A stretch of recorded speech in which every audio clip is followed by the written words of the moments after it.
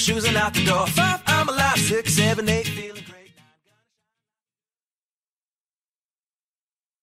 Hello, everyone, and welcome to Beyond Your Wildest Genes podcast for this week.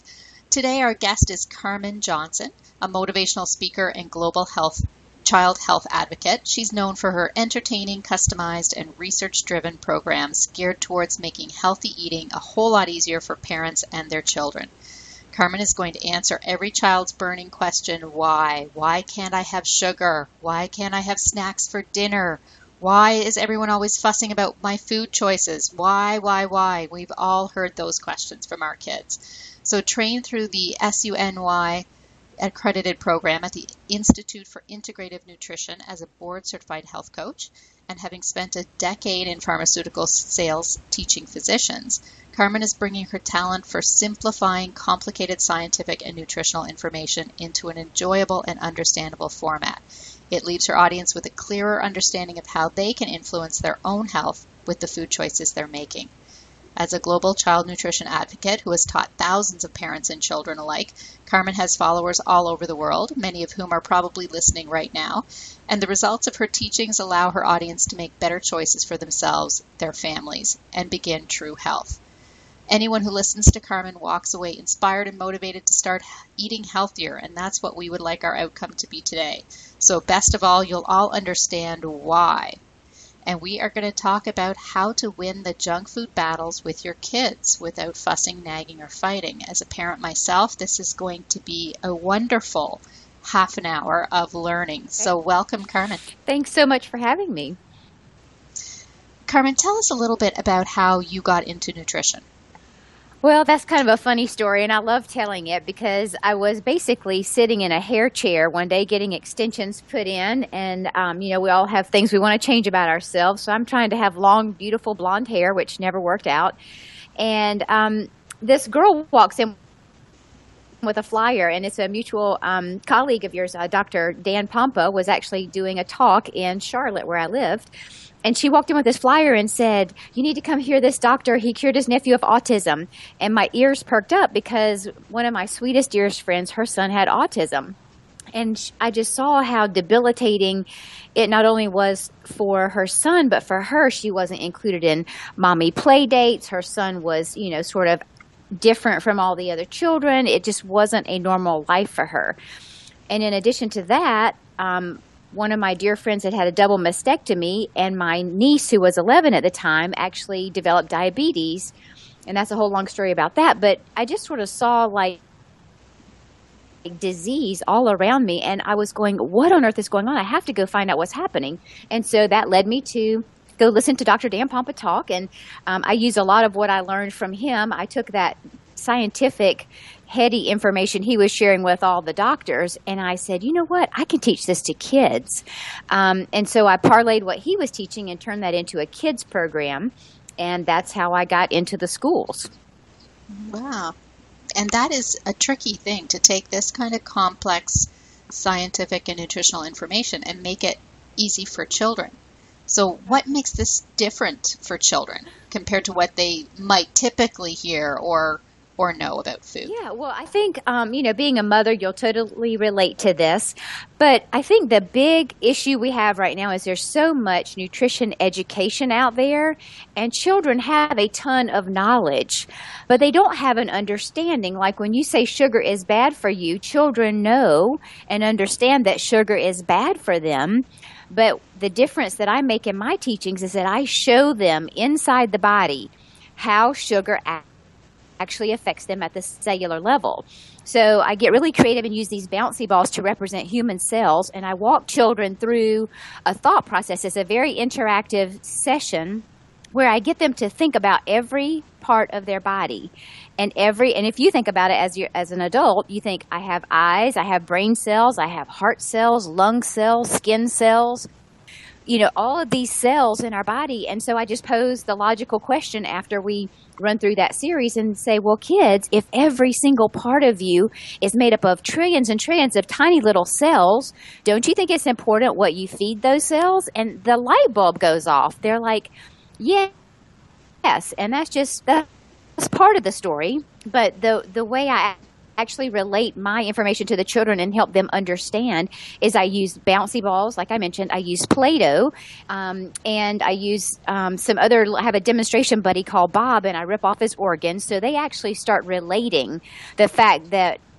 the food that they eat actually impacts very specific parts of their body. Um, and it's just really neat to see the children sort of come to life when they start to figure all this out. Well, that makes so much more sense to them um, than just the word good or the word bad. Yeah, well, I didn't share this part because I got so busy on the other thing, but I think you'll appreciate this is like as a doctor, you understand what insulin is and you know what a pancreas is, but to explain how diabetes happens to a, tw- a 6-year-old, a 10-year-old, I actually show them that by eating too much sugar, it's like taking a big wad of Play-Doh. So I take the Play-Doh and I have the little bouncy ball and a water tube straw that you know, I say it's like a cell's receptor. It's looking for food. And I put that big wad of, of Play Doh on the end of the straw. And I say, well, if you eat too much sugar, then your cells can't get the nutrition they're looking for. So that visual alone really impacts the kids. They start to understand I know mom said I shouldn't eat so much sugar, but that's what sugar's actually doing in my body. And then this other um, thing that I made up myself, which I love, is I consider insulin, I relate that to children as Pac Man. And everybody knows Pac Man, the little game Pac Man. And so I just relate to them that insulin is like having lots of little Pac-Men in your body that have to go around working very hard to gobble up all that sugar they're putting in their bodies. And once they kind of put that visual in their head, and I say, if you have too much sugar, guess what? You get pancreatic poop out. Your pancreas just gets too tired, and that's when you can develop diabetes and that's you know that little imagery for the children is so powerful. That's awesome. Yeah. So you've obviously talked to a lot of children and talked to a lot of parents. What are the, some of the most common food battles that you hear parents complaining about when they're talking about their kids Sure. Um, you know, to date, actually, just to give you a personal milestone, I've talked to over 44,000 people through my videos and in person presentations, and that's adults and children. And, you know, as a parent, the most common food fight is I'm a busy parent. My kids want to go through the drive through all the time, and we've stopped that. Um, you know, I just don't have time, or I did not in the past have time to fight the food battles with them. And children are so addicted to sugar they get sugar at school, they get candy for rewards in the classroom. Every other day is a cupcake birthday party for someone. It's just absolutely these kids are on sugar overload. So the biggest battle I see is that parents are number one, their kids don't understand why they're not supposed to have sugar if they're thin and they feel like they're healthy, me, a mom or dad telling their kids sugar's bad for you doesn't make any sense, right? Because the kid's not sick. They don't get it. But when um, the science is explained to them, they actually start to understand that yes, mommy and daddy are right. That is the problem. I am eating too much sugar. Um, and this is a little segue, but we go over and talk about the actual limits for kids because they don't know the limits. And I think you know, we all have sweet tooths. We all want junk food. It's the sugar and salt and all that's very addictive, and those are common battles that parents fight. But what happens is when children understand what's going on inside their bodies, they actually start making different choices. And so when we tell them that, you know, for a child, you know, like an elementary age child, their limit for sugar is According to the American Heart Association, it should be about 16 grams of man sugar or added sugar per day. And when the kids bring out their Gatorades and their Twizzlers and their juice boxes and they look at all the sugars that they're consuming, they realize right then and there that they are on sugar overload. And then they connect the dots there with, oh, Miss Johnson just said too much sugar keeps my cells from getting the good nutrition. So that's kind of the one-two punch in helping the kids sort of overcome their common eating issues. Is they just need a little they need, they need someone to bridge the gap between their knowledge and their understanding of healthy eating. So Carmen, let's talk a little bit about sugar limits for kids. You mentioned that a little bit earlier, 16 grams per day, but expand on that because I think that's something that probably most kids and most parents need to know. That's absolutely true. Um, I'm glad you brought that back up for clarification. Um, the American Heart Association puts out guidelines every five years. And in 2010, I haven't seen the 2015 ones for some reason, but for, in 2010, the guidelines for consumption for children elementary age would be around 16 grams of added sugar per day. Now, that's not the sugar we find in fruits, bananas, apples, strawberries, fresh fruits. We're not talking sugars that occur naturally. We are talking about man made sugars that have been added to boxed, bagged, and bottled things that children eat and consume. So, again, this is something that's really helpful for the children. They don't know their limits. They're just told you eat too much sugar, but when a child can actually count, and it's a great math exercise, when they can count how many grams of sugar are in one Hershey Kiss, okay, that's five how many grams of sugar are in this um, Gatorade that I'm drinking? Wow, there's 24 or 48 grams of sugar. When children know that 16 grams of added sugar is their limit for the day to stay healthy, and then they start looking at how much sugar they're consuming, they automatically start regulating themselves. It's a beautiful thing Absolutely. to see. Absolutely. I've even seen some people um, put visual, you know, sugar cubes there um, and they have a pile of 24 sugar cubes and say, Would you feed Yes. this to your kid? And the parents are, of course, No, no, no, we would never want to give them 24 sugar cubes. And then they put the bottle Exactly. of, you know, Gatorade or pop or whatever it is beside it. And um, that's exactly what you're feeding your kid. Yeah, it's shocking. Like a pack of Skittles will have like 44 grams of sugar. A whole little sleeve of Starburst has like 33 grams of sugar. So, I mean, a kid can sit down and eat that in 10 minutes, right? And that's double their sugar intake for the entire day. That's that's why we have so much disease right now. And if we can curtail that by just giving the kids a little guardrail and a little number to look for, then and all the, the, better. as well, because there is a, such Oh, a lack of awareness, even of, of what is an appropriate amount for kids to have, because it is so prevalent out there today. And you look at what other parents or other families might be doing as a bit of a guide, and we're all kind of lost in what, what is really appropriate. So that's a wonderful visual, I think, for people. Thanks so much for that. Absolutely. So, can you share with us some of the results you've seen? Right. You've done this program for years with, with, as you said, thousands of people. So, what Oh. are some of the results that people would expect? Oh my goodness. Um, well, you know, every child is different, and so I can't guarantee one set of specific results for any parent. Is going to be, you know, we're all bio individuals is a fun little word, and um, I can just only relate to you the things that I have seen happen. Um, you know, for instance, there was a, a a Title One school that I went to teach in where this large girl was in the fifth grade, and she was much bigger than me. She was probably 5'8", 170 pounds, a large fifth grader. And um, I just gave the one little cell talk like I do in the kids' videos that I'm offering. And I was only in her classroom for 30 minutes one day. And then I got enrolled to come back and teach a whole half a year in their school the very next year.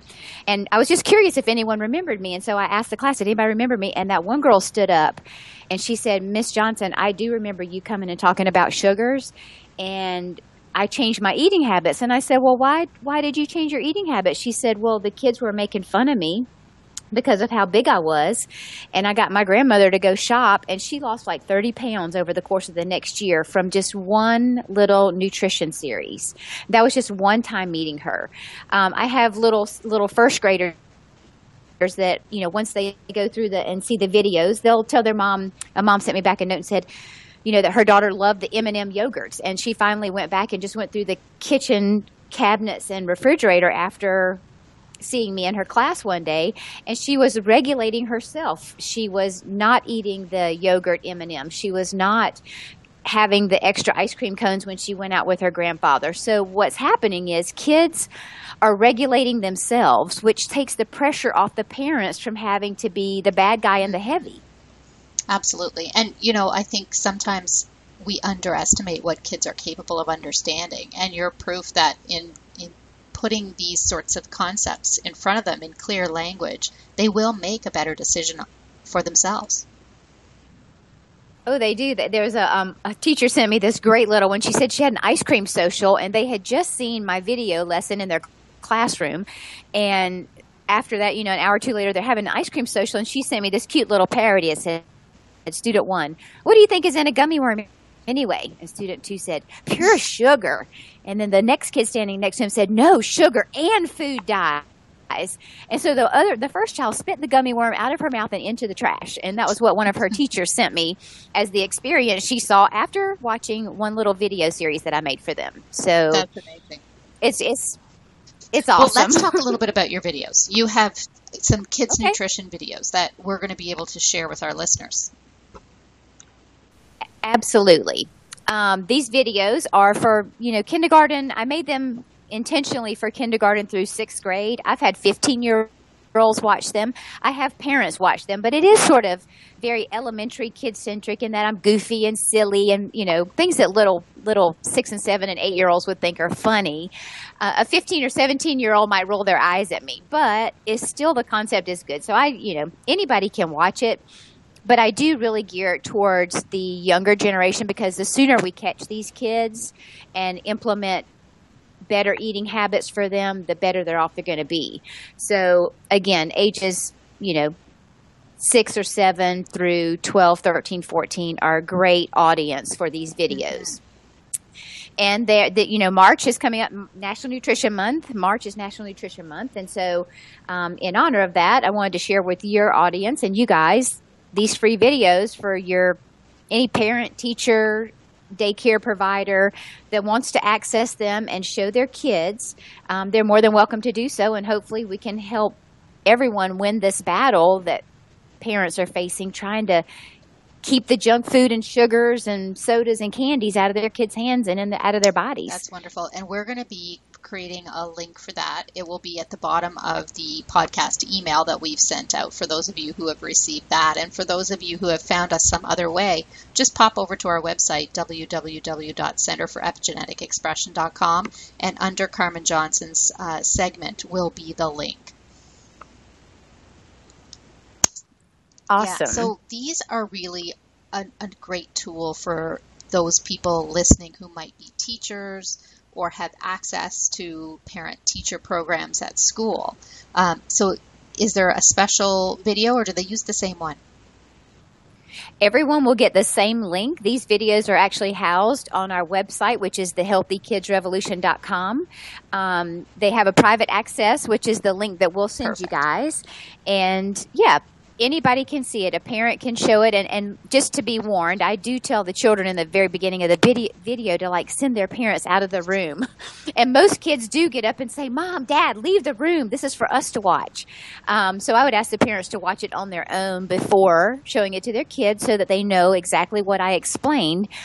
And then when they let their kids watch it, just leave the room and let the kids just kind of feel empowered. And they come back and they they run go tell their parents what they've learned. Mom, you won't believe this. I learned that. Or they just run right to the refrigerator in the pantry and start pulling out stuff that they like to eat and looking at the sugar content. So um, it's very powerful stuff, and I am really grateful for you guys sharing it. And, you know, the big goal is just to eradicate the disease that we have. And I know um, one of my, I'm a big fan of Dr. David Katz, and he had published the fact that, you know, our kids right now are expected to have a shorter life expectancy than than you and I do. So um, that thought is just daunting. And my goal in life is to help as many people as I can, help as many kids as I can to get better educated around why food matters. Absolutely. And and what a wonderful opportunity to to teach them to pay attention,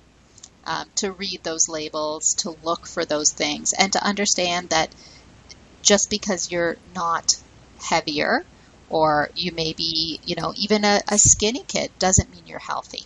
So that is an amazing Exactly. message, I think, for this next generation to understand. Um, so if Yeah. uh, anyone listening has heard this and thinks, oh my goodness, my sister in law wasn't online today and she should really hear this, or they want to share this with some friends, by all means, it is a free podcast. So send this link on to others. The more people who can hear about these opportunities and hear about these um, life changing tools will be the better for, for the, the entire world as we have now gotten our podcast into 70 countries and over 35,000 people listening this week. Um, we hope that if this could make a difference for even 10% of those people, it's the beginning of changing the world for the better for the next generation. So, again, you can find the podcast online. At iTunes or on our website, www.centerforepigeneticexpression.com. This is your co-host, Dr. Wanda Lee and featuring today Carmen Johnson. And uh, one more time, Carmen, can you just give them your website? Absolutely. It's www.thehealthykidsrevolution.com. And I just appreciate you guys uh, sharing all the information. You're doing a wonderful service for our nation and our world, and I'm just honored to be a part of your program. Thanks for joining us.